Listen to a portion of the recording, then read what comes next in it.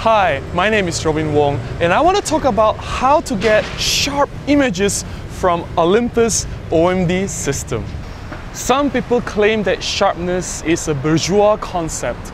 I strongly disagree with that. I think sharpness is very important in photography because to me, photography is a representation of reality, even just a small slice of reality. When I look around with my eyes, I see everything crystal clear and I want to represent that in my photographs. Feel free to disagree with me.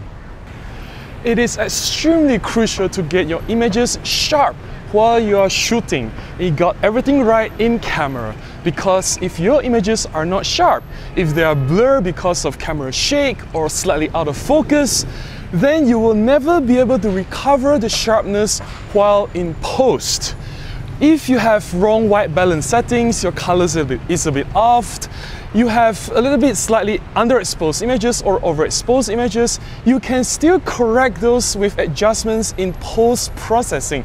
But if your images are not sharp, there's nothing you can do in your computer, there's no amount of Photoshop that can save your blurry main subject in your photograph. Get it right in camera. And here is why I'm sharing these five tips on how to achieve sharpness in your images using OMD cameras.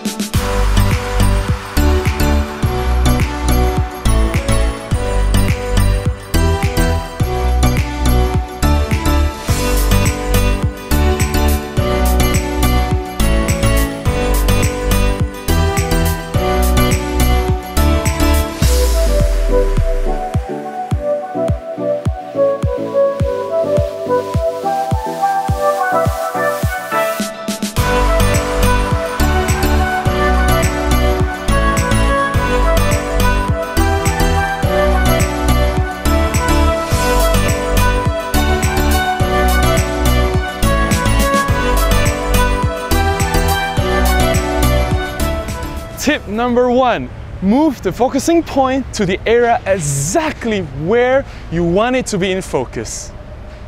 This is a crucial step I never skip for every single photograph that I take.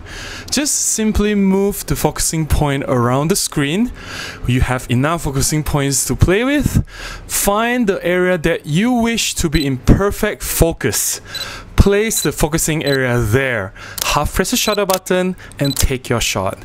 If the focusing area is exactly at where you want, you will get pin sharp images.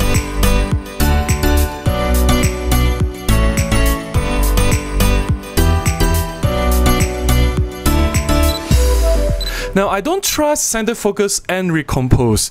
I will show you why. Because the distance changed, the focal plane changed, and if you recompose the image, there is a very dangerous chance of getting slightly out of focus image. Tip number two, stop down your aperture. All lenses all lenses will benefit from stopping down just a little bit. Instead of shooting wide open, say f1.8, if you stop down to f2.8 or even 5.6, you will notice an increase of sharpness. Using aperture priority, I can control the f number freely. Now I'm shooting at f1.8 wide open. I will show you that the image it is good, it is very decent. Uh, there's nothing wrong with this. In fact, I would perfectly use this with no issues. But if you just stop it down a little bit, say f5.6, now we will compare the images that we have taken. There is some difference. It is quite noticeable.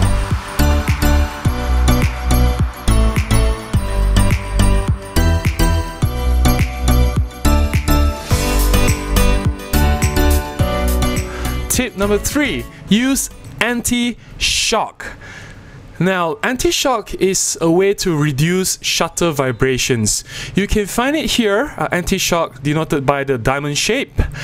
And by default, it is not available. You can't find it there. So you have to dive into menu 2, go to anti-shock silent, dive into it, Then you will go for the zero second anti-shock. Make sure that it's turned on, right? Zero second, so that there's no delay.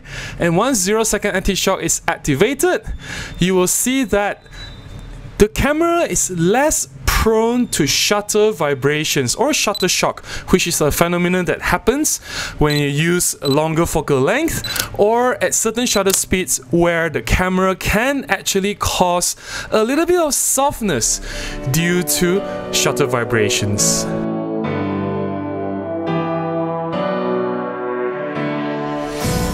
Tip number four, shutter speed. Watch your shutter speed.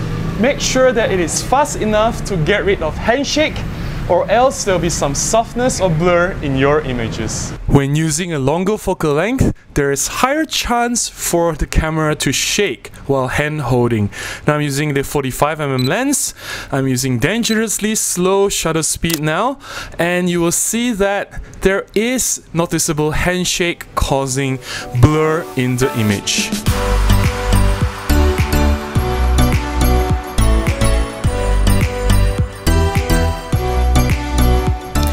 By ensuring that I have faster shutter speed, usually just use wider aperture or higher shutter speed. Then with safe shutter speeds, you will guarantee that there is no handshake and you get pin sharp images.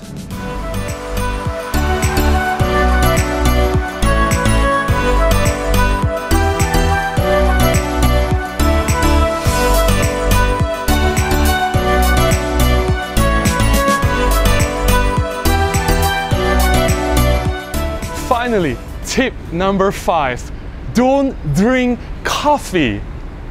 I'm kidding, sorry about that. Well, this tip uh, is applicable for you if you are shooting JPEG. Be careful of the noise filter. If you have set your noise filter to standard or high, you will get cleaner high ISO results, meaning that the noise will be reduced but at the same time, the fine details and overall sharpness of your image will also be affected. I normally would recommend to set the noise filter to low or just turn it off completely. You can find the noise filter settings in the camera menu under the cogs. Then on the E1 noise filter, uh, if you turn it high, let's see what happens. I don't recommend this. Shooting at noise filter high, it will smoothen out the noise, but it will also make all the fine details disappear. You get a very smooth result. You don't see traces of noise, but you don't see any hint of sharpness as well. Uh, to me, I actually prefer it to be turned off or used at noise filter low. Uh, I don't really mind a little bit of noise in my images as long as the structural integrity is maintained. Now, you can see there is more fine detail captured.